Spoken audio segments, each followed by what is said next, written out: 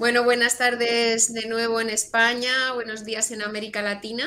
Vamos a continuar con, este seminario que ya está en su cuarta edición. Es un gusto para el CEMAP que, ya estemos en esta cuarta edición con una invitada de lujo que, a la que se ha ido aludiendo a lo largo de la mañana y de la tarde, María José Ferrada, periodista, escritora chilena eh, sus libros infantiles han sido publicados en países muy diversos, traducidos a más de una veintena de idiomas. Ha sido galardonada con numerosos premios literarios, pero sin duda dos de los más relevantes y más recientes también han sido eh, el prestigioso Premio Iberoamericano SM de Literatura Infantil y Juvenil, que ganó en 2021, y el Premio Cervantes Chico en este año de 2022.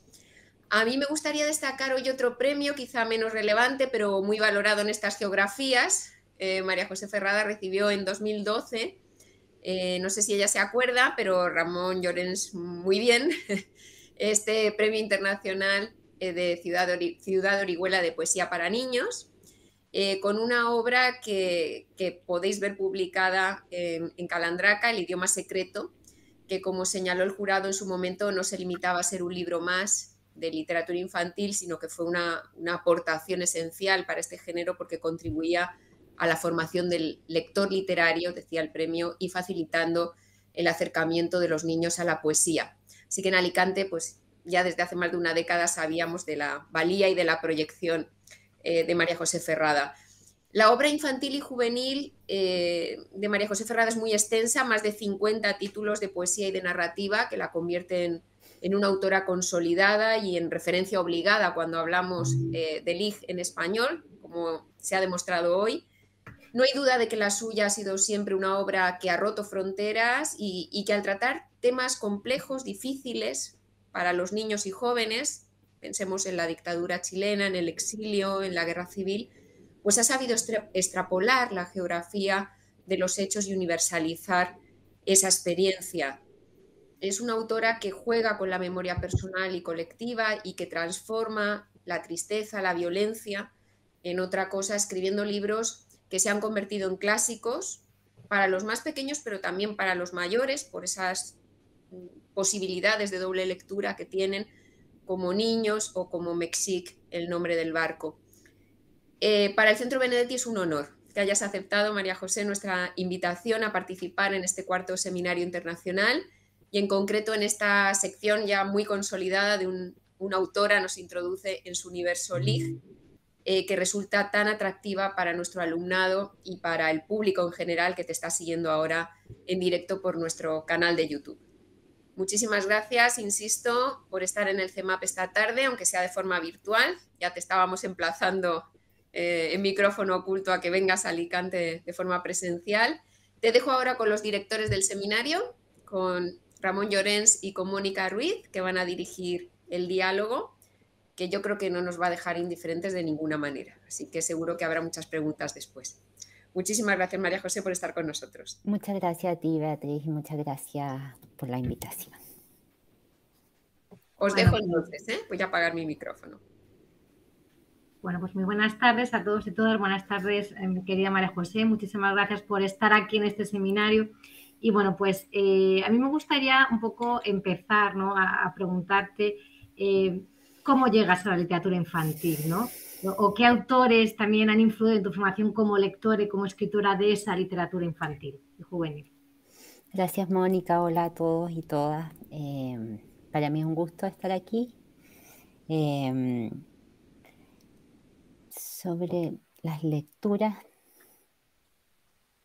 creo que em, bueno, tantas, pero hubo un poeta que a mí me despertó en mí la, tal vez el, sueño de escribir, que se llama Jorge Tellier, que es un, poeta de un pueblo muy cercano a la, ciudad donde yo pasé mi infancia. Entonces este poeta nombraba un paisaje que era muy familiar, que era mi paisaje. El paisaje del sur de Chile, pero que no es el, sur patagónico, sino que es un sur todavía como de huertas, como una naturaleza que, está muy en, una relación muy estrecha con, las personas. Y, pero claro, él nombraba esa naturaleza, pero también nombraba eh, algo que yo intuía en la naturaleza, pero que yo no sabía cómo nombrar. Entonces, creo que ahí despertó, o sea, yo sentí que sí se podían, había una forma de nombrar eso. Y mm, también creo que, bueno, yo tuve la, la suerte, creo, de, haber conocido muy temprano, cuando era adolescente, la literatura japonesa, los haiku. Tenía un tío que me regaló como varios libros de literatura japonesa, le estaba desarmando su biblioteca. Y eso también fue muy marcador para mí, la narrativa de autores japoneses contemporáneos, pero también el haiku, que era también una continuación de eso que a mí me parecía que hacía Jorge Tellier, que era como ser un, poeta de algún modo transparente, que, que, que era como, daban como un testimonio de eso que había, pero que él casi no aparecía tanto en, los poemas. Y después, em, yo ya era joven y estaba en la, eh, tuve la beca de la Fundación Pablo Neruda, que es una fundación que beca a los poetas jóvenes en Chile. Eh, y tuve un profesor de taller, un poeta, eh, que se llamaba Floridor Pérez, que además era profesor ah, de colegio, de escuela rural.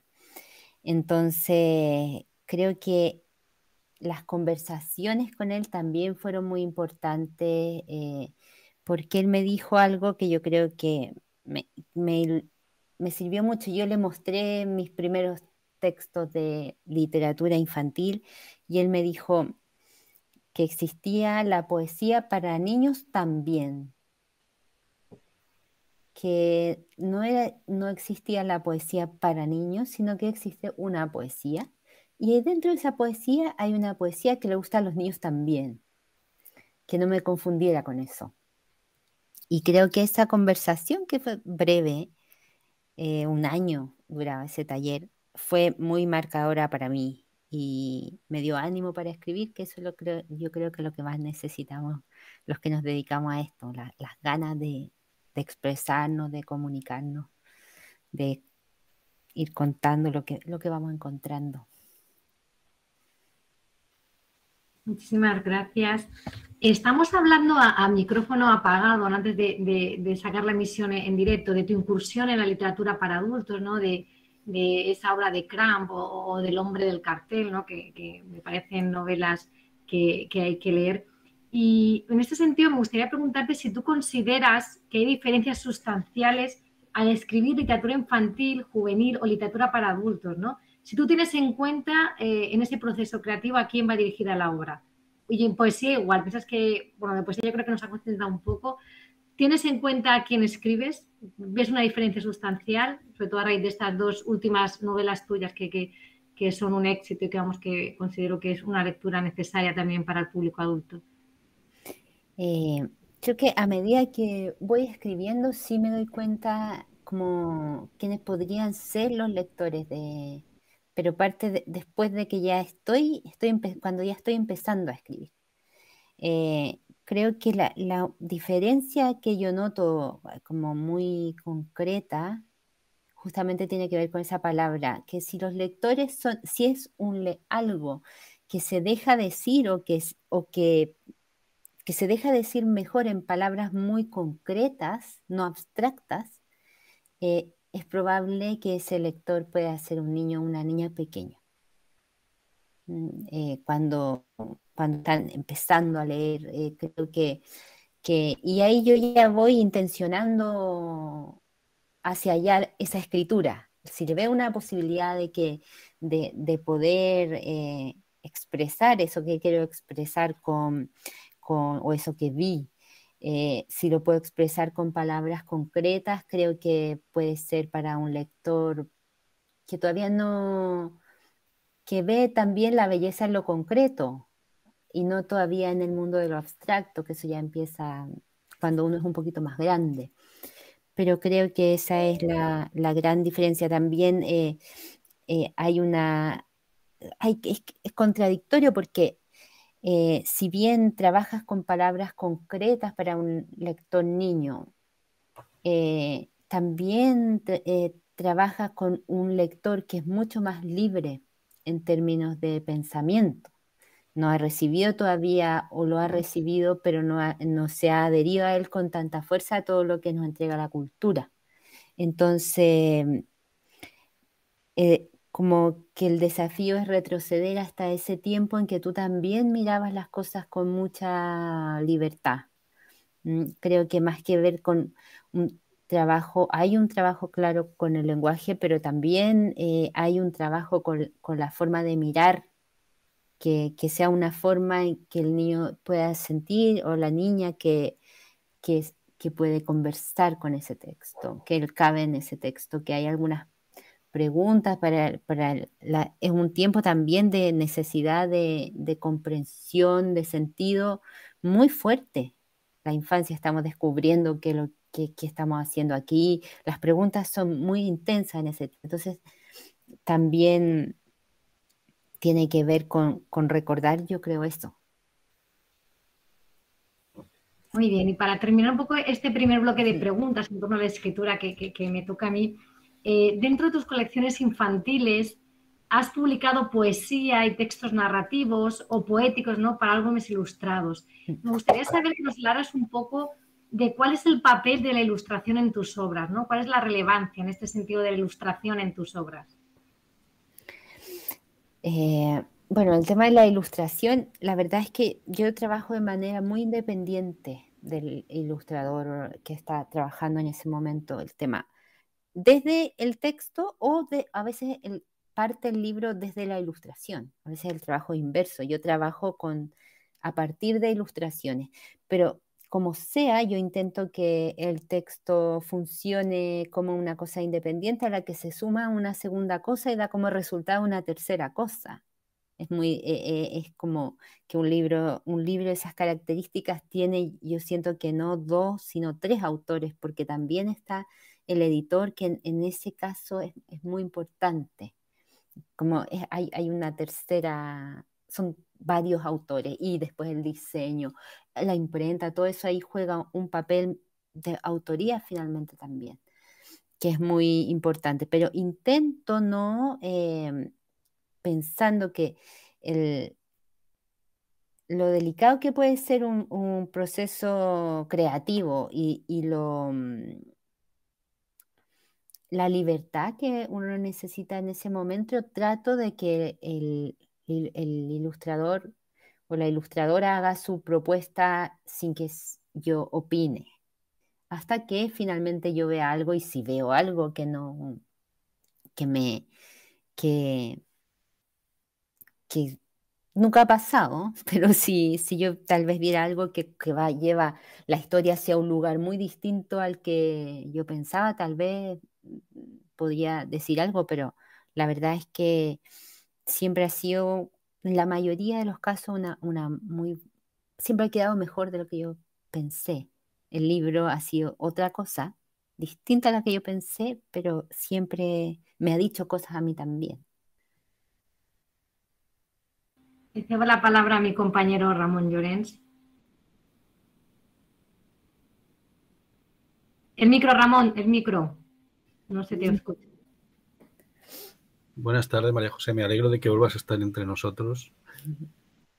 Gracias, eh, Ramón. Como te ha recordado mi compañero José, pues aquella, aquel madrugón para un curso de verano desde Santiago que te conectaste.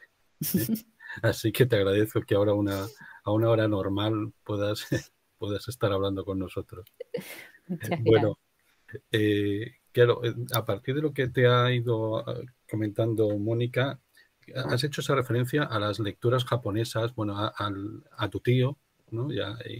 Y, cuando empiezas a conocer eh, algo de Japón, bueno, después has estudiado, tienes el máster en estudios de Asia Pacífico, etcétera, y tu relación, tu diario de Japón, eh, etcétera, ¿no? La antología de haikus, tienes, en fin, has seguido esa vinculación. ¿Tú crees que, mm, yo no sé, te pregunto si, si eh, por ejemplo, la forma de ver la naturaleza o las cosas tiene una base eh, que puede partir de, esa, de ese conocimiento de la cultura japonesa o de ese contacto con la cultura japonesa tan sutil, tan, no sé. Mm, sí, yo creo que fue una lectura que me marcó mucho, tal vez porque también eh, fue en la adolescencia y en la adolescencia creo que uno lee casi con tanta intensidad como lee cuando es niño.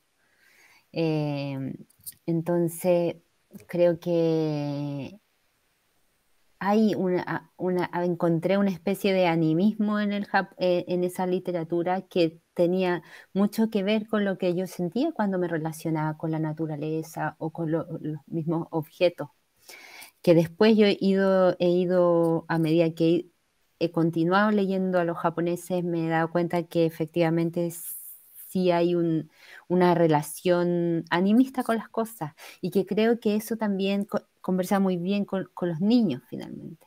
Los niños son muy animistas también. Entonces creo que ahí se cruzaron muchos intereses, la, simpleza también en, en, el lenguaje. Eso también era algo, es algo que me llamó la atención, eso, eso mucho que uno podía decir con pocas palabras, contando con lo que también no decía. Eh, eso también me pareció que podía mm, eh, servir para contarle a los niños cosas. olvidé decir que cuando me, me, preguntó Mónica, yo partí escribiendo porque yo tengo un hermano que es mucho menor que yo, 15 años menor que yo. Entonces de ahí nació mi, mi, mi querer contar a, a, un niño, que ya es un hombre grande, pero, pero en ese tiempo era un niño. Entonces eh, empecé a leer también la poesía que yo leía, que era para adultos, pero empecé a buscar qué, qué le podía gustar de eso a mi hermano qué podía en mi hermano, cómo podía eh, transformar de alguna manera eso en algo que, le pudiera él em, maravillar o que pudiera eh, generar preguntas sobre el mundo que él estaba descubriendo en ese tiempo. Sí, y en cuanto a, los objetos, y, también relacionado con lo que hablabas con Mónica sobre si existía un modelo de, de receptor, de lector, cuando tú estabas escribiendo, porque en realidad eh, en el lenguaje de las cosas, ¿no? que es el primer libro que yo leo tuyo, entre el lenguaje de las cosas y el idioma secreto, por ejemplo, yo no veo eh, diferencias, ¿eh? es decir, para que sean para niños o para adultos. Veo, como tú decías o como decía tu profesor, poesía y simplemente es una poesía que puede leer tanto tanto el adulto como, como el niño, porque la forma de entender en ese caso la, bueno, siempre, ¿no? Pero de entender la naturaleza que tiene eh, por esa, ese animismo, ¿no? Que, que, que, tú señalas, claro, queda más próximo al, al, niño, pero también al adulto. Entonces, por ejemplo, esos dos, me parece que esos dos, eh, dos obras eh, son paradigmáticas en cuanto a que no hay diferencia entre entre una obra que es publicada en una colección eh, para adultos y en, una, y en otra obra que es publicada para una colección para, para niños, adolescentes, etcétera, ¿no? No sé qué piensas. Creo que es que creo que tal vez tuvo que ver con eso que, que comentaba antes, que cuando yo comencé a escribir para niños era un tiempo en que yo estaba leyendo mucha poesía, pero yo no tenía acceso y por ser adolescente tampoco tenía mucho interés en, libros para niños. Los, adolescentes queremos alejarnos de los niños. Entonces seguía, pero sí estaba buscando cómo entretener a este niño particular que era mi hermano. Entonces eh, utilizaba como las herramientas que iba encontrando en cualquier parte, hasta las que encontraba en el diario utilizaba. Entonces, creo que eso me, sirvió para yo misma no distinguir los géneros. Yo creo que después de que yo, yo comencé a estudiar literatura infantil, y eso después de que ya la estaba escribiendo, lo mismo que literatura, yo nunca estudié literatura. Entonces, todo ha sido auto, autodidacta y por lo mismo em, creo que eso ha permitido que no, no tuve conciencia de los límites de género. Yo iba encontrando en cualquier parte, digamos. Y decía, sí, esto le puede gustar a mi hermano, aunque lo haya escrito Allen Ginsberg, aunque lo hubiera escrito este mismo poeta Atelier que tanto leía. Yo decía, esto sí, esto aquí habla de, cuando habla de, me acuerdo de una imagen de un, fantasma que dejaba marcados sus piececitos en, en había un saco de harina y el fantasma se paseaba por ahí, dejaba marcado, pero era para adultos. Pero yo decía, esta figura le va a interesar a mi hermano. Entonces creo que encontré mucho ahí con material con el que poder conversar con él. Mm. Y, el animismo sí, yo creo que yo eh, efectivamente siento que hay que como una como que las cosas tuvieran una presencia, un alma muy palpable. Mm. Y eh, que mm, muy, por ejemplo, la lámpara que está aquí, como muy, una presencia muy humilde, concreta, y, pero que bien hace su, tarea. Cuando yo enciendo, ilumina lo que yo quiero leer.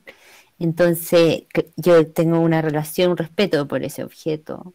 Y eso lo he encontrado en ciertas culturas, como eh, parte del pensamiento japonés, parte del pensamiento indígena, y en la naturaleza eso está muy, muy, tal vez más palpable que los objetos, muy, muy presente, muy, muy, esa alma es muy muy visible, ¿no?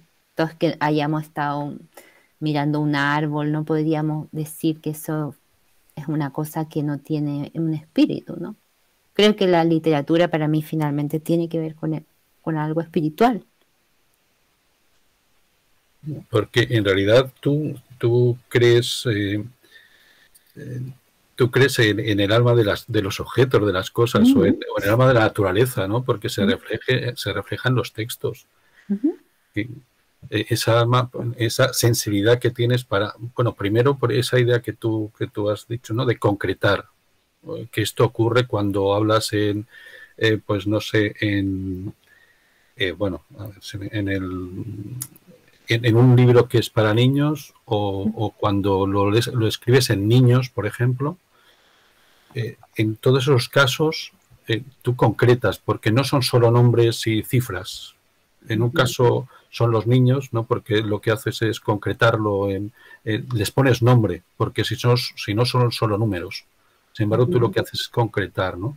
Y yo creo que en la naturaleza también ocurre lo mismo. También la humanizas o hablas de ella porque no hablas de la naturaleza en general, en general sino que después hay unos, unos bichos que corren por la naturaleza, unos bichos que tienen unas características, ¿no? Es decir, que, lo que haces es eh, concretar siempre eh, esa planteas esa parte general, pero llegas en realidad a esa concreción que es la que le da también mucha más riqueza a la obra. ¿eh? Ahora entraremos, si quieres, en la parte del compromiso, porque en los niños es bellísimo precisamente dentro de toda la tristeza que tiene, porque tú los, los porque haces que sintamos que es cada uno de ellos. Hablamos de cada uno de ellos, no, no de ese número general de, de asesinatos, ¿no? Mm. Em, Sí, ese libro es un libro para, quienes no lo conozcan. Em, es un libro que está dedicado a los niños ejecutados y detenidos desaparecidos durante la dictadura chilena. Eh, lamentablemente nosotros continuamos teniendo desaparecidos y ya se van a cumplir 50 años el próximo año. Pero es un libro que mm, nació de algo muy concreto de también, eh, a propósito de lo concreto, efectivamente yo creo que yo encuentro la belleza en lo concreto. Encuentro también muy hermoso el pensamiento abstracto. Sí, claro. Pero eh, tengo una inclinación hacia lo, hacia lo concreto. Eh, entonces creo que ahí puedo relacionarme más fácilmente con los niños. Em, y sobre este otro libro, em, en Chile todavía no hay un memorial para esos niños. Entonces, el libro, la idea del libro era justamente funcionar como un pequeño y humilde memorial.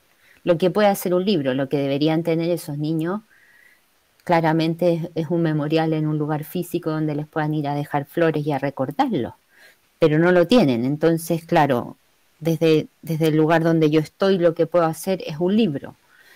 Em, pero es, complejo el trabajo con la memoria porque es un libro, eh, así como Mexic, así como El lenguaje de las cosas, que es otro libro que habla de los objetos que dejaron las personas que pasaron por un centro de detención específico, la Villa Grimaldi.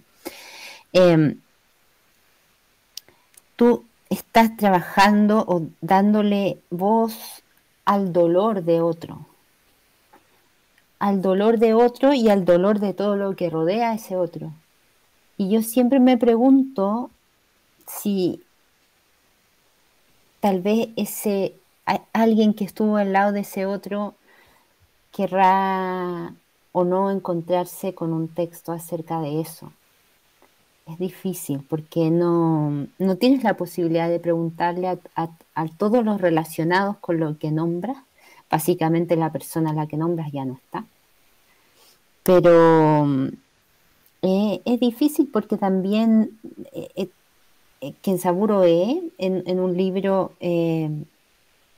a propósito de las víctimas de Hiroshima, dice como que una de las víctimas le dijo, lo peor de ser víctima es que para siempre eres víctima de mesas de trabajo, de mesas médicas en, ese, en el caso de la bomba.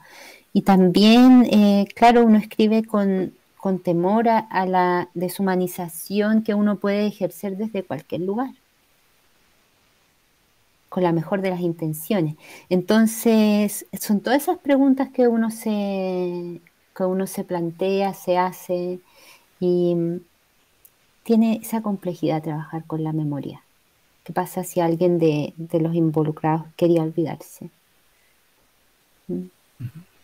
Sí, eh, eh, antes debemos decir, por, quien no conozca la obra de, María José Ferrada, que, es, es, una persona muy comprometida y, ese compromiso social y político lo transmite a, y humano, lo transmite a su poesía. Entonces ella no no elude el tratar un tema tan delicado como puede ser las desapariciones, y sobre todo más delicado en Chile. Nosotros que también hemos vivido una dictadura, han pasado más años y seguimos teniendo todavía ciertas sombras, pero eh, esa, esa, esa, forma de abordar, ¿no? Eh, has hablado de la tristeza de las cosas, la taza. Eh, pero claro, todas las referencias que hay en otras de tus obras siempre a cuestiones sociales también, ¿no? Tu participación en otras obras que tienen eh, bastante componente social eh, y que con las que siempre has colaborado, ¿no?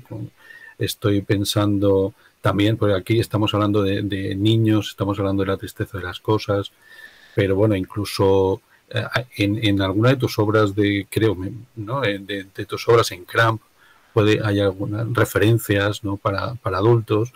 quiero decir que, que eh, abordas además con una delicadeza, con una delicadeza eh, esos aspectos que muchas veces son tan, tan sórdidos y tan, tan lamentables. Eh, en el libro, bueno, que este Mónica lo conoce mucho mejor, ¿no? Que Mexic, pero también, ¿no, Mónica? Yo creo que, ahí en, en también hay una forma de ver las cosas, de mirar las cosas, esa realidad. Sí, bueno, sí que nos interesa un poco, María José, ver tu opinión en el sentido en el compromiso, ¿no?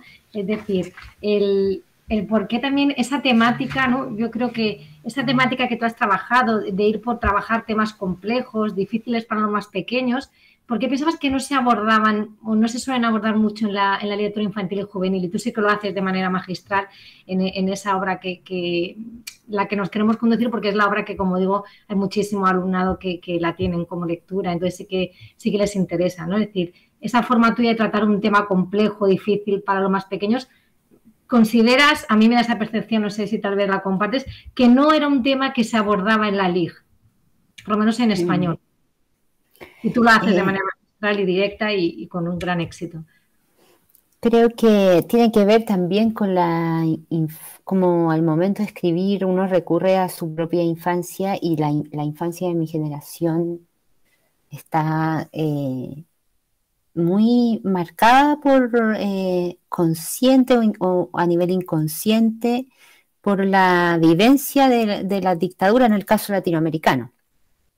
Eh, creo que quiera uno o no, llega ahí finalmente cuando está escribiendo. Eso es muy, con la novela para grandes, con Cramp, me pasó que yo quería escribir una novela sobre la desaparición del oficio de mi padre, de vendedor viajero, que fue en los 90, 90 o fines de los 80. Pero finalmente terminé hablando de otras desapariciones, pero como una cosa totalmente inconsciente, porque también la escritura se alimenta de eso. Por lo menos en mi caso, habrá eh, gente que es capaz de hacer un programa lo que va a escribir y, y, lo que termina escribiendo queda muy apegado a ese programa. Pero a mí generalmente lo que mm, el plan es una cosa, no tengo mucho plan, parto como con una imagen y luego ya voy viendo qué aparece a partir de, esa, de esa imagen.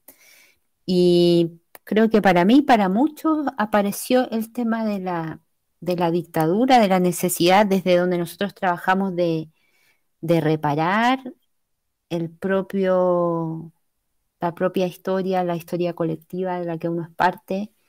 Y, mm, y claro, yo creo que desde distintos oficios se ha trabajado en, ese intento de, reparación, de ver cómo podemos eh, trabajar con la memoria para que algo que suena muy ya lugar común a estas alturas, pero para que no se repita, sabiendo que se va a repetir, lamentablemente. ¿sí? Eh, eh, también es un trabajo un poco,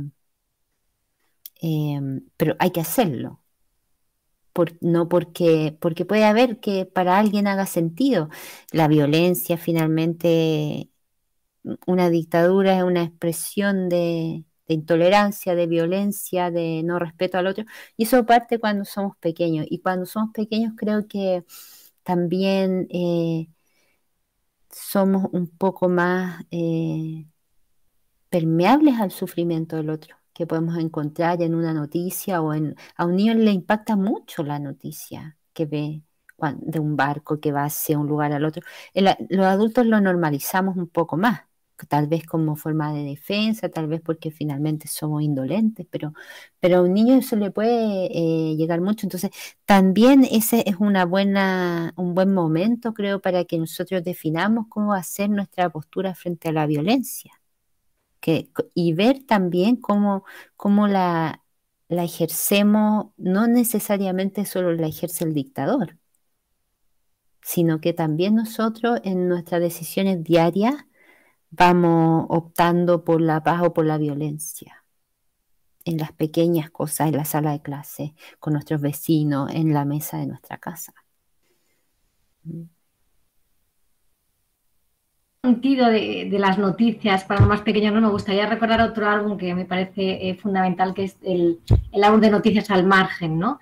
Un poco preguntarte en ese sentido, ¿cómo haces esa selección para ilustrar la, poesía, ¿no? Al, hilo de lo que has comentado de, las noticias, ¿no? Porque esa selección de noticias en ese álbum de, noticias al margen, un poco al hilo de lo que has comentado. Bueno, eh, es como un poco, el, como lo dice el nombre, eran noticias que van quedando por un tema geográfico, por un tema de, los sujetos eh, a los que implica, van quedando al margen, van quedando mm, como noticias que se pasan en el momento en que no se dan las noticias importantes del noticiero. Em, Y yo soy periodista de estudios universitarios, aunque ejercí muy, muy poco tiempo, pero, pero soy periodista, entonces ese, ese lenguaje tan esa cosa como un poco perversa que tiene el lenguaje noticioso, de poner en una misma, en un mismo lugar un partido de fútbol eh, y un, estreno de, una película y eh, la, guerra. Y darle el mismo espacio y darle el mismo, a veces menos. Y cuando la guerra es cercana, pero cuando la guerra se va alejando del centro de donde nosotros la narramos, todavía menos espacio hasta que pueda hasta desaparecer de, lo que está pasando en términos noticiosos. Entonces creo que eh, la intención era como tomar esas, esas noticias que tenían esas características de haber quedado como fuera, de haber pasado muy rápido y em, darles la, la, velocidad que permite la, la intención poética, digamos, que no, no, se deja leer rápido. No, tú tienes mucho, o sea, tú vuelves a veces al mismo texto eh, para ver qué, qué, había, te encuentras con un poco con lo que decía Ramón, sales de la cifra y entras ya al que está detrás de la cifra. Y hay un y finalmente cuando hay un otro eh, te encuentras con un con un yo que está eh, en esa guerra y, que está o en ese bueno en, ese, ese, libro. Hay hay distintos tipos de, de guerras grandes y guerras pequeñitas no Vuelvo a hacer la palabra Ramón, yo creo, para continuar un poco con esa idea del compromiso en, en tu obra. Ramón. Sí, me estaba acordando es el compromiso político, pero también el compromiso estaba recordando ahora en la obra quién es Juan, por ejemplo, ¿no? O, que, es otro, otro tema, pero que es ese compromiso que tú tienes, o, después esa, los derechos humanos sobre los ¿no? que tienes también. Quiero decir que, que por eso mm, creo que además eres un ejemplo en, en esa relación que, que muchas veces es demasiado utilizada y mal utilizada que es esa relación entre ética y estética, ¿no? Yo creo que mm. tú eres una persona consecuente que lo transmite mm, perfectamente a, su, a su obra narrativa o a su obra poética, y, e independientemente de quién sea eh, ese receptor, porque le hablas, por eso les hablas igual a los niños o a las niñas que a los adultos y les transmites esa, esas inquietudes que tú tienes. ¿no? Eh, tengo aquí anotado que has destacado alguna vez que que a través de la literatura lo que, lo que intentas es también eh, contribuir a generar la reflexión en los niños y niñas, ¿no? Eh, ¿Tú crees que, pueden, que la literatura puede convertirlos o ayudarlos a convertirse en ciudadanos y ciudadanas? Creo que la literatura lo que puede eh, dar es un espacio para que uno se encuentre con ese otro del que hablábamos y finalmente uno se encuentre con lugares de uno que uno no, tal vez no había sabido cómo nombrar.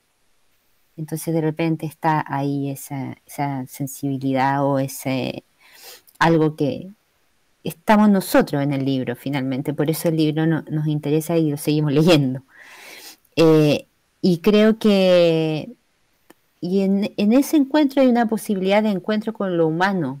Después del encuentro con lo humano viene probablemente el encuentro con el, con el yo que es ciudadano, con el yo que... Pero, pero lo que hace la literatura es tal vez darnos como una, una salita para eso.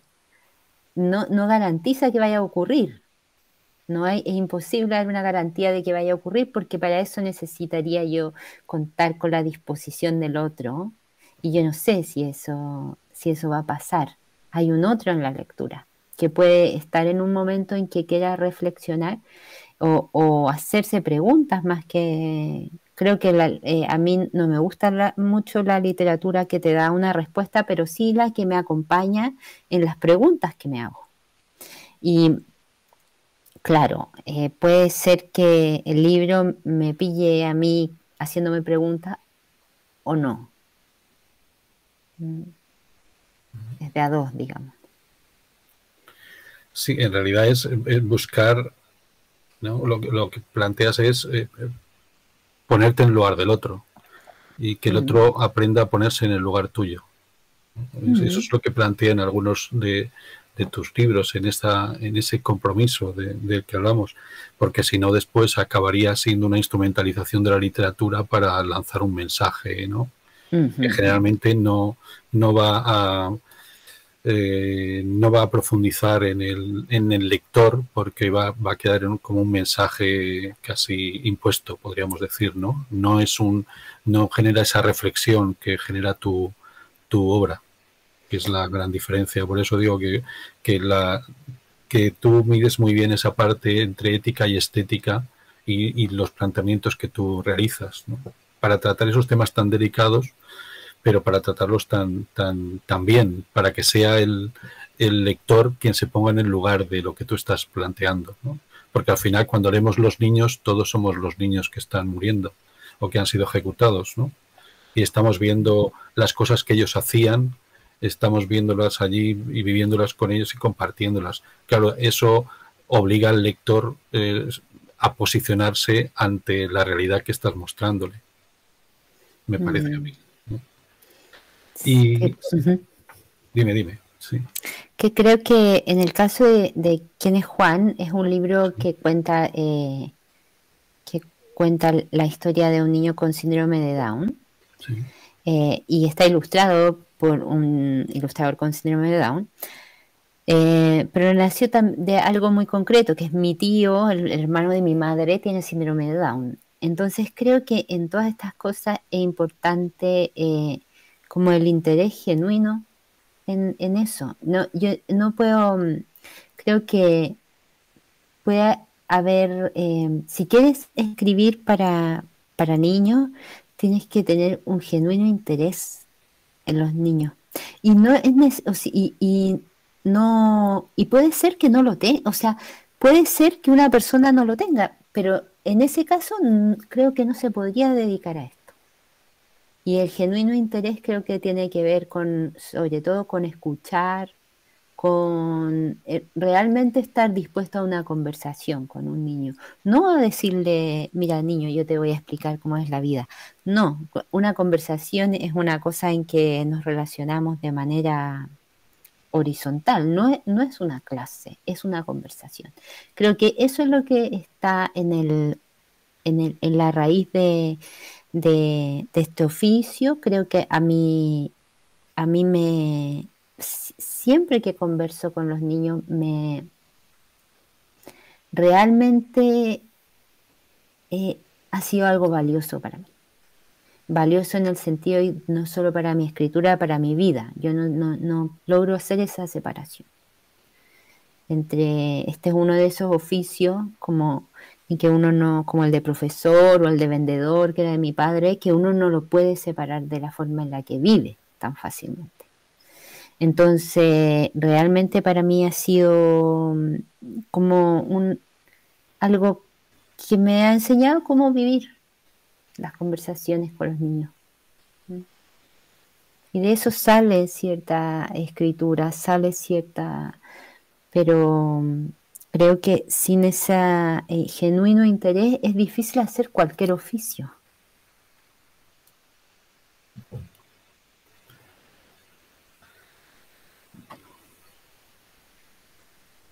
Mónica, ¿quieres?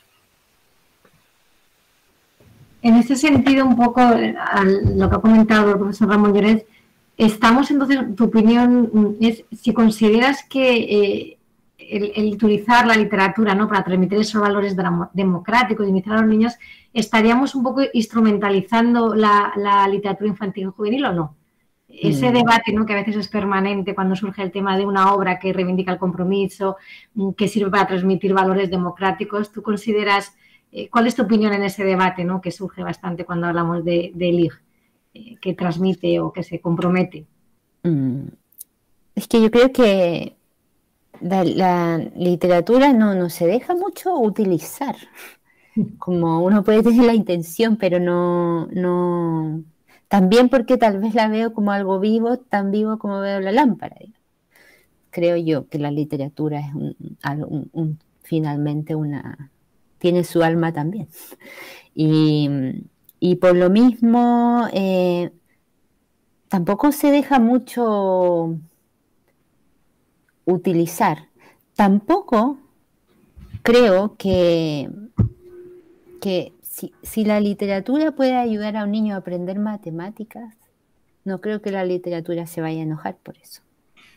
No creo tampoco en estas separaciones de por acá está, las entiendo porque nacen de, de, ciertas reacciones a momentos en que la literatura se vuelve muy pedagógica o a momentos, pero también yo tampoco creo en la pureza de la literatura, porque creo que está vinculada a la vida y la vida de las cosas no están separadas una de la otra.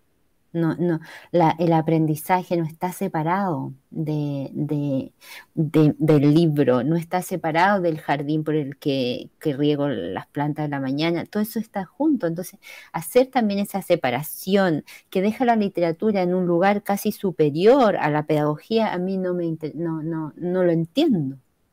No lo entiendo porque eh, creo que la literatura es una cosa bondadosa entonces, eh, si un niño puede aprender a, hacer una, cómo formular una frase de manera bella con un poema, la literatura va a estar contenta, no va a estar enojada porque la usen en la clase de castellano. Entonces, eh, también ah, encuentro un poco ese, ese debate a mí me, me hace pensar también ese, ese miedo que le tenemos a, a la escuela, al libro de texto. Es un honor estar en un libro de texto. Sí, bueno, yo voy terminando con mis preguntas. La verdad que en el chat hay muchísimas preguntas que transmitiremos. Yo voy a decir la última de, mi blog, y luego ya le cedo la palabra a la profesora Ramoñones para que cierre y si os parece, pues pasamos al chat, que hay bastantes preguntas y mucha gente siguiéndote y te felicitan. Entonces, mi última pregunta, quiero volver a Mexique, ¿no? Como, como te he dicho, nuestro alumnado en la Facultad de Educación Universidad de Alicante te lee mucho, tenían las lecturas como Mexique, pero también el idioma secreto, el baile de minuto, ¿no? Tenemos a más de 400 alumnos conectados que, dicen, María José Ferrara acá en el examen seguro porque lo hemos puesto. Entonces, un poco, si no te pregunto, me van en clase al día siguiente nos, matarán el miércoles, ¿no? Un, un poquito si nos puedes decir cómo surge ese libro y también cuál es la recepción de ese libro en España y en México. Un poquito que nos hables un poco de, de este libro porque especialmente pues eso, están haciendo muchísimas preguntas sobre este libro en el chat de YouTube, aunque como te digo, pues también el alumnado del profesor Ramón Llorén, pues que tiene unas lecturas mucho más amplias, pues leen también el idioma secreto o el baile diminuto. Pero si podrías un poco centrarte, pues, alguna palabra o cómo surge Mexique, ¿qué puedes decirnos de esta obra? Bueno, este libro, eh, para los que no lo han leído, cuenta la historia de, de un grupo de niños que fue exiliado en realidad a 500 niños que cuando que por la eh, producto de la guerra civil española se van a México por un tiempo, pero nunca vuelven. Eh, básicamente la intención de ellos, de sus padres, era que fueran por unos meses mientras se calmara la, eh, todo. Bueno, no se calmó tan rápido como todos creían y finalmente la mayoría de los niños nunca volvieron. a mí a propósito del libro Niños, la editora de ese libro, Mónica Bergna de México, me escribió eh, para que yo contara esa historia. Y yo le dije, no, porque en realidad yo no, yo soy chilena, no soy mexicana, no soy española, entonces me parece muy extraño contar esa historia. No, me dijo, es que yo no, no te, eh, quiero que tú leas lo que yo te voy a enviar, que me envió libros un, libro del, tema y veas un documental. Y después me, responda. bueno, le dije, pero no, creo que no, pero lo miro. Y cuando lo vi, tuve claro, tuve el tiempo para pensar que, eran niños realmente antes que mexicanos o españoles y que eh, desde ese lugar sí, sí me interesaba contar su historia. No, no, al principio sentí que qué tenía que hacer yo en esa historia pero primero uno es ser humano y después viene la nacionalidad, primero uno es niño y después viene el país el que tiene su, pasaporte. Entonces, em, ella había estudiado con uno de, el director de la escuela donde ella fue, había sido uno de esos niños que venían en el barco. Entonces también había como una deuda ahí de, contar la historia de, ese profesor. Y, mm, y, las imágenes de Ana Peña había ya algunas, em, la del final estaba. Entonces ese, relato yo lo construí un poco preguntando también a, gente que yo conocía que había eh, vivido el exilio cuando era niña. Yo no hablé con, con, con los niños de México que ya, que cuando se publicó ese libro se cumplían los 80 años del barco. Entonces todavía quedan algunos que viajaron muy chiquititos. Em, pero claro, por lo mismo de, que les comentaba con el libro Niños, yo no, no, no hablé con ellos porque yo no sé si el otro quiere hablar de eso. No sé, eh, pero los documentos, en el caso del caso chileno, los documentos oficiales están. Yo trabajo con los testimonios que están. Eso está a, disposición del público. Lo mismo en el caso de los, de los niños españoles. Y, mm, y la recepción, eh, tengo más noticias de la recepción en España porque he trabajado con niños en, la escuela con ese libro. Y también siempre en Alemania trabajo, y ahora estoy en Alemania, y yo trabajo mucho con ese libro. Diría que es con el que más trabajo aquí en Alemania. Em, siempre me pregunto qué pasará con los niños que están viviendo una situación de, de migración forzada cuando yo trabajo en la escuela ese libro, no lo sé. También tiene que ver con, son libros que provocan mucha inseguridad al que los hace y al que está, estoy bien con ese libro o no. Puede haber un niño que se incomode en la sala o no por lo mismo de no aparecer con el, eh, eh, no mostrar los matices que tiene, porque un migrante eh, tenemos que tener cuidado desde la literatura, no simplificarlo. No, no volver el proceso como soy migrante y soy triste. No, la migración también tiene momentos felices también en, en, incluso en, la, cárcel, en los lugares más, difíciles de habitar, hay también momentos de amor, de felicidad, de risa. Eso también está porque la, experiencia humana no es tan, no, no, nuestros conceptos sí eh, eh, logran referirse a algo concreto y aislado, pero la experiencia no se da aislada. Mm, no se da como en los marcos teóricos, se da, se da con todo junto. Entonces también ese, tal vez puede ser la crítica que yo hago a mi mismo trabajo o hago al trabajo de, a los libros que leo, que tenemos que tener cuidado con esa simplificación. Eh, no, la idea es complejizar, no simplificar y a veces pensando que como nuestros lectores van a ser niños y no, podemos recurrir a un lenguaje muy abstracto, ¿cómo hacer para con ese lenguaje sencillo eh, no limitar la experiencia en lugar de, de mostrar todos los matices que tiene? No hacer sentir a un niño que porque es migrante está en desventaja o va a ser un ser que, que está rodeado de tristeza o, no permitirle la rabia o no, cómo hacer, ¿no? Que, las palabras queden lo suficientemente abiertas. le cedo la palabra al profesor Ramoñones si quiere para cerrar y, pasamos ya, si quiere alguna pregunta para cerrar, pasamos luego ya a, las preguntas del chat que, hay bastantes. Pero le paso la palabra a Ramón Llones por si quiere hacer alguna pregunta que cierre y englobe. Bueno, te, haré una pregunta porque con María José Ferrada, como veis, podríamos estar hablando mucho tiempo y aprendiendo sobre la sobre literatura y sobre el proceso de la literatura, porque eh, no sé, ¿qué idea le sugerirías tú a, nuestro alumnado para por lo menos intentar tender puentes entre la lectura y, entre las nuevas generaciones, o sea, entre ellos y la, y la lectura, ¿no? Entre las nuevas generaciones y la lectura. ¿Qué, les sugerirías? ¿Qué ideas les sugerirías? Porque has hablado del vínculo afectivo, ¿no? Pero tú, ¿qué, qué, ideas le sugerirías? Yo creo que tiene también que ver con lo que hablábamos en, en algún momento, eh, escuchar, ¿no?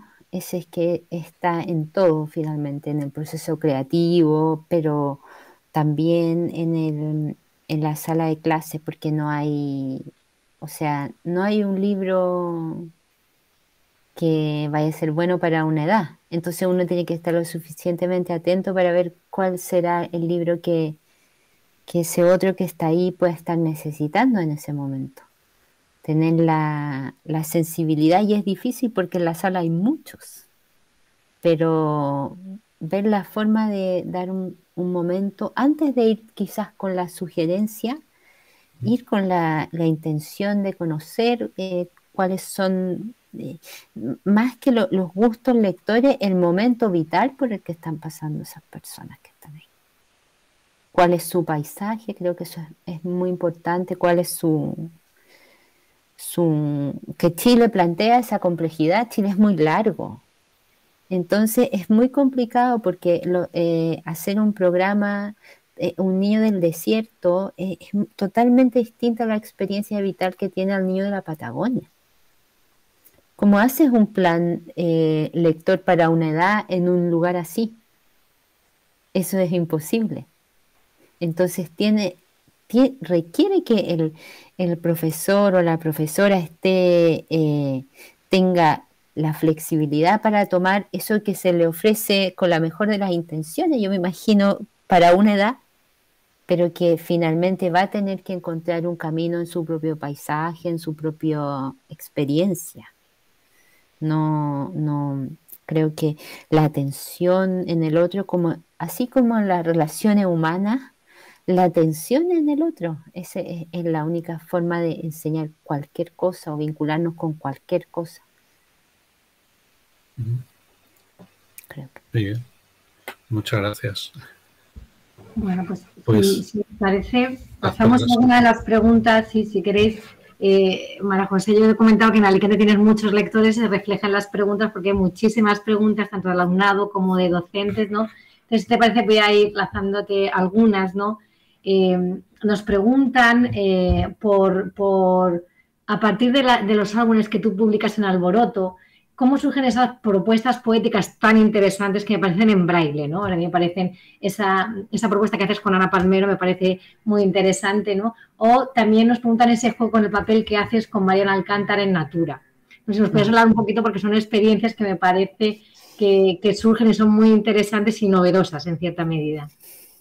En Alboroto tenemos la suerte, la fortuna de tener una muy buena editora, muy buena editora, que eh, nos impulsa a estos proyectos y que nos hace reflexionar en el y a veces es difícil porque como bueno como cuando uno está en la escuela como que uno se revela un poco que no, no uno va con lo que sabe pero ella hace pensar de nuevo y pensar de nuevo y pensar de nuevo hasta que, que con cosas que uno piensa que tal vez no yo me debería remitir solo al texto y no, hay un montón de cosas que, conversar antes de llegar a, un texto como el que hicimos con Ana Palmero, eh, que a ver, que creo que lo tengo aquí para los que no lo hayan visto, pero me que tener paciencia porque lo tengo que abrir.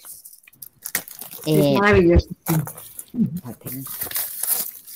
Es de los pocos que tengo aquí.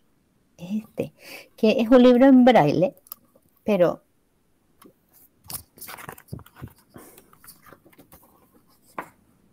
Esto e, em, es, está en relieve. No sé, yo creo que no se alcanza a ver, arriba está en braille. Creo que no. Un poco, un poco. Pero la idea es eh, un libro que pueda compartir el niño que, para empezar, como el niño que tiene ceguera total, es, eh, eh, hay muchos niños con ceguera parcial.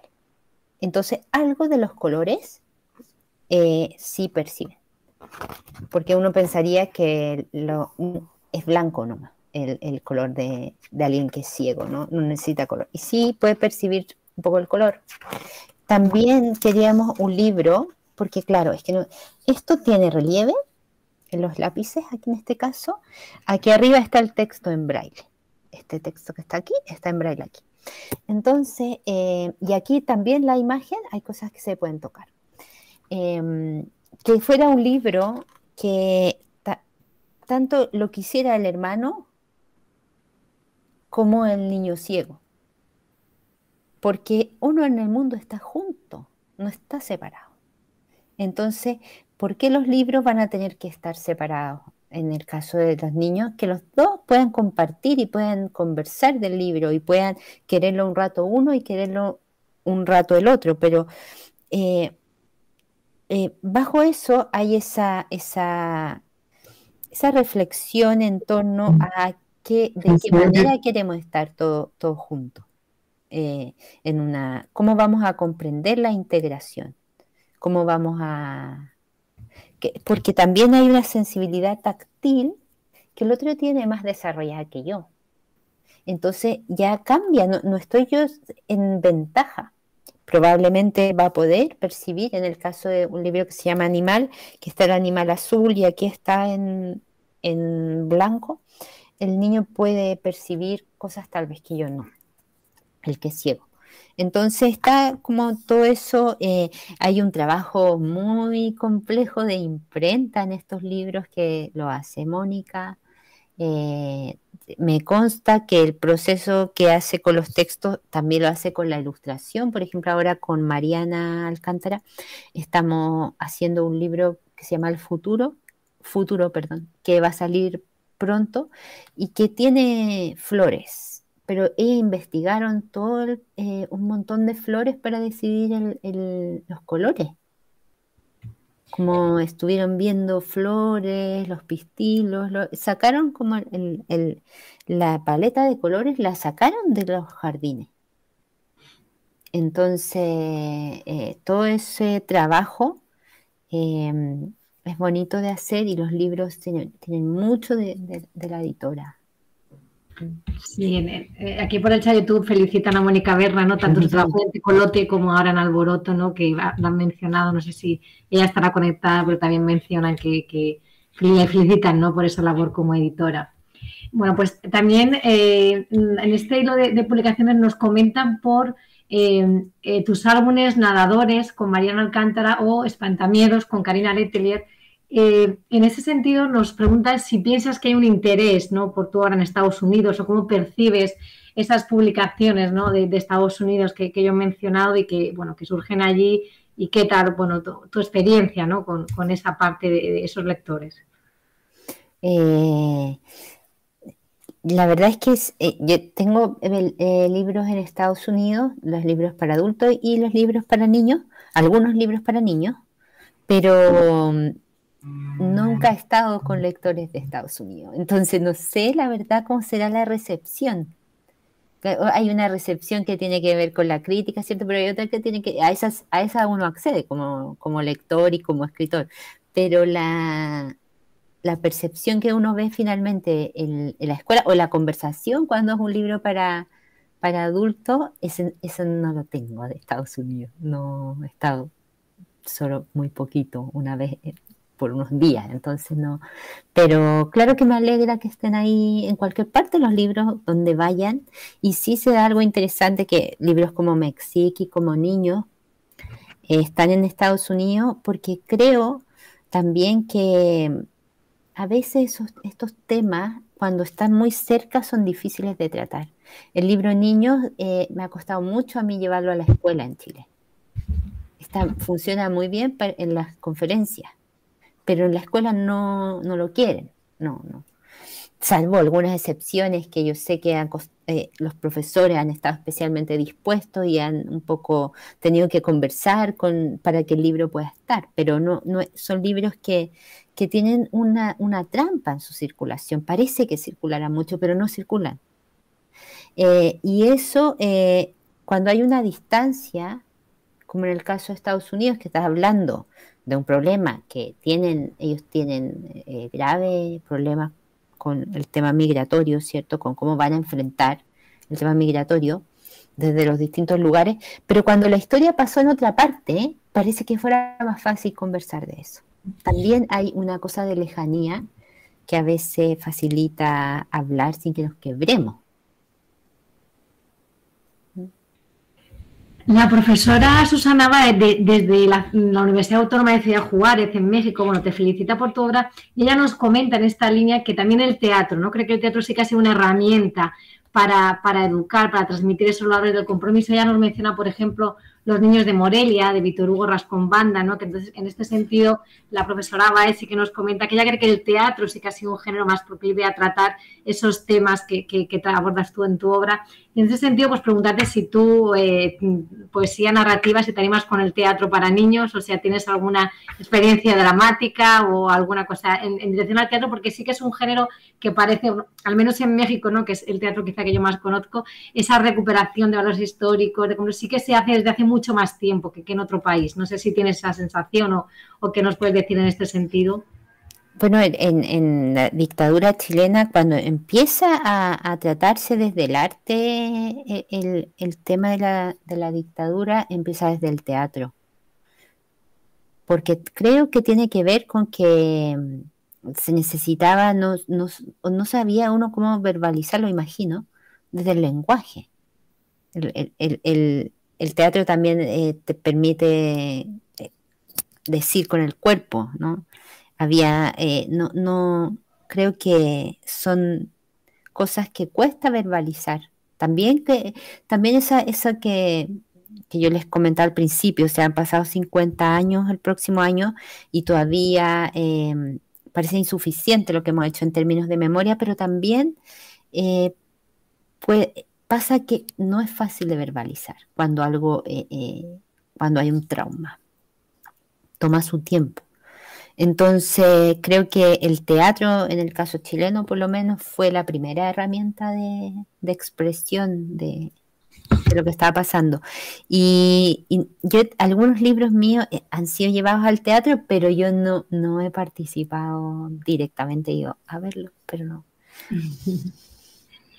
Bueno, pues eh, el profesor Francisco Antonio Martínez Carratalá, que es un profesor de nuestra universidad, muy gran lector de tu obra, que nos está haciendo muchísimas de las preguntas a través de su alumnado, eh, nos pregunta por tu texto El bolso, ¿no?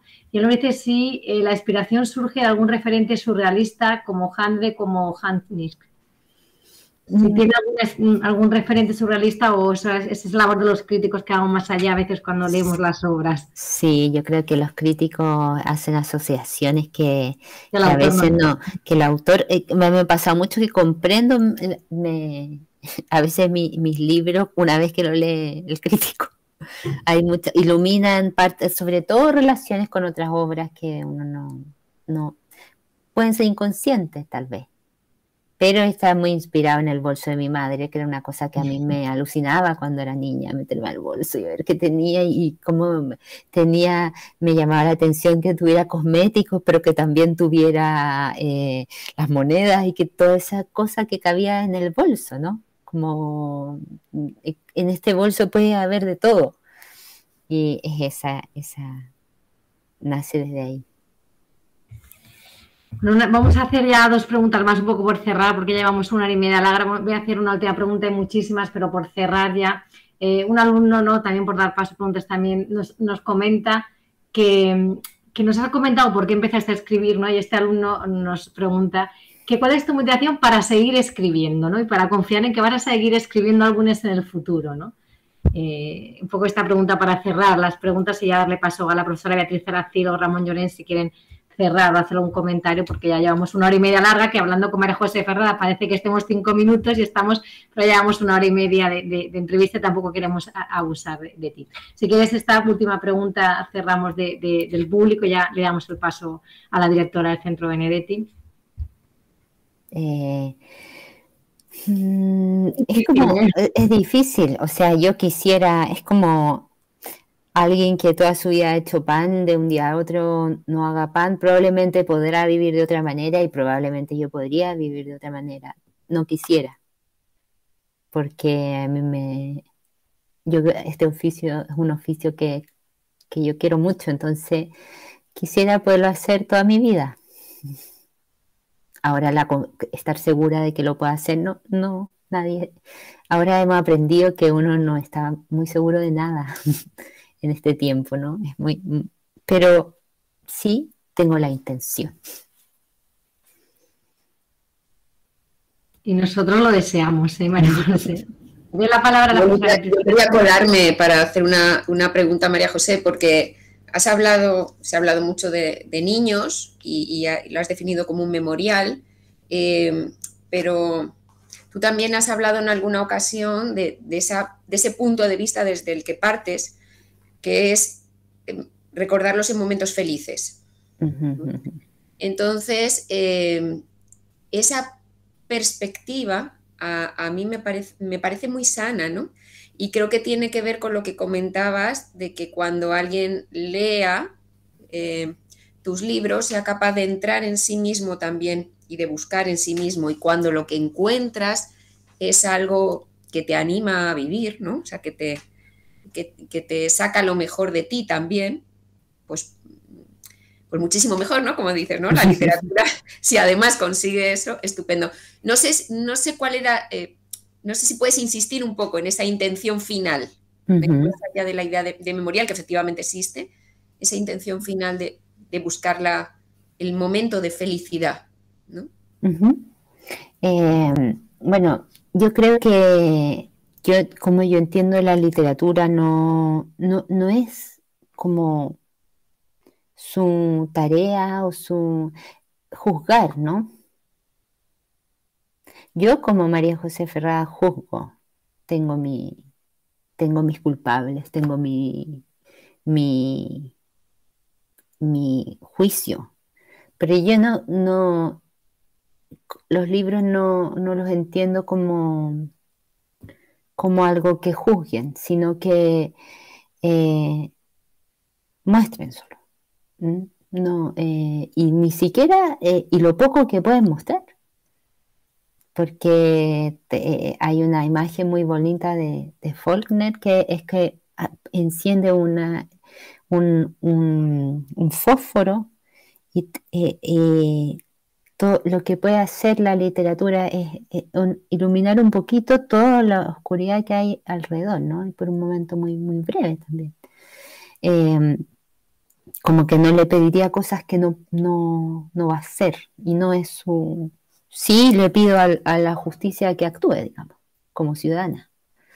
Pero...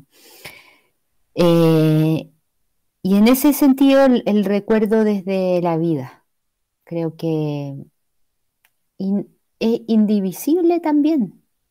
la, la, muerte desde la vida y, la vida, pero pasaba en ese texto en concreto que el texto escrito tiene una cosa muy fuerte que es eh, el registro, digamos, eso está, está basado en, los informes oficiales y en los informes oficiales está el, no solo el momento de muerte, sino las condiciones de la muerte.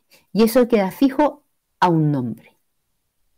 Y es un relato muy cruel muy cruel porque habla de balas, habla de, un cuerpo roto finalmente. Eh, que eso quede para siempre fijo al nombre de un niño de meses o de un niño de 12 años, de 9 años, es una cosa que de alguna manera creo yo, como decía, creo en la literatura como algo que sí finalmente es una una cosa viva que puede hacer un contrarrelato, en el que ese nombre vuelve a estar asociado a, lo bello que también fue su vida, en el sentido de, de, lo bello que es cualquier vida que está descubriendo. Entonces, en ese sentido, como la literatura repara de alguna manera de una humilde manera. Bueno, pues yo le doy la palabra a Ramón. Muchísimas gracias, María José. Ramón, te toca a ti finalizar. ¿eh? ya, yo te damos las gracias. Como Escuchando con gusto, pero... Tenemos que darnos toda la tarde. Cierra, cierra tú, Beatriz, ¿no? me, emociona mucho, efectivamente, la, escritura de María José. Creo que, eh, que, ha sido un acierto enorme por parte de los organizadores eh, haber, haber propuesto tu nombre para este cuarto seminario. Eh, te damos las gracias enormemente. Creo que el alumnado eh, hoy eh, no solamente ha aprendido, sino que ha compartido ese, espacio humano desde el, que, desde el que se posiciona María José Ferrada. Así que muchísimas gracias por estar con nosotros en el día de hoy y como te decíamos al inicio, te emplazamos para que en un futuro puedas también acompañarnos presencialmente. Muchísimas gracias, María José. Muchas gracias por la invitación y yo voy a ser la más feliz de ir, así que espero que pronto podamos ver. Muchas gracias, muchas gracias.